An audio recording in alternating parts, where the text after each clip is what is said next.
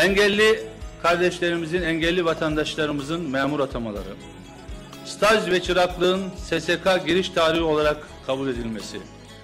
üniversite mezunu işçilerin eğitimlerine uygun kadrolara geçebilmeleri, ücretli öğretmenlerin ve Fahri Kur'an kursu öğreticilerinin ücretlerinin iyileştirilmesi ve kadro talepleri, kitlerde taşeron olarak, işçi olarak çalışanların haklı kadro talepleri, kamu şeflerinin ek gösterge talepleri, kamu kurumlarında 4B ile fiilen teknik işlerde çalışanların çalıştıkları işe uygun ünvanla kadroya geçmeleri ve buna benzer talepler. Tüm bu haklı talepleri değerlendirip